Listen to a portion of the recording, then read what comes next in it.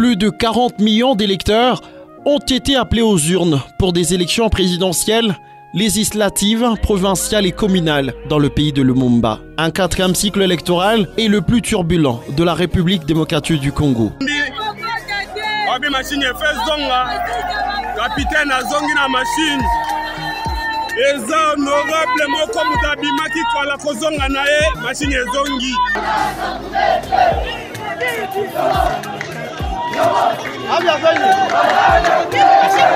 Faisait les fraudes avec euh, ces machines ici.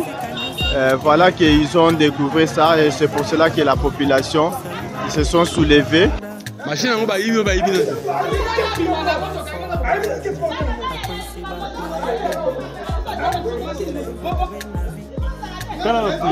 Nombreux bureaux de certaines provinces n'ont pas ouvert leurs portes aux horaires prévus 6h, 17h.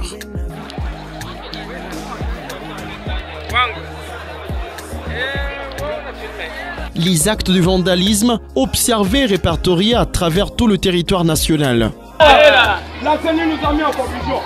Nous mobilisés par les. Et maintenant, c'est lui qui vient de qu'il n'y a plus les élections. Nous avons trouvé des voleurs saignés ici.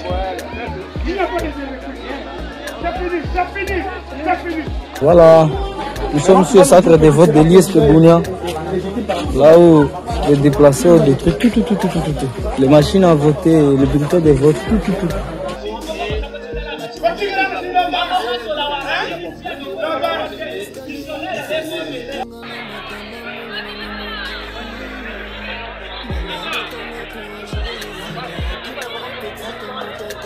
Signalant que la publication des résultats pourrait intervenir d'ici une semaine.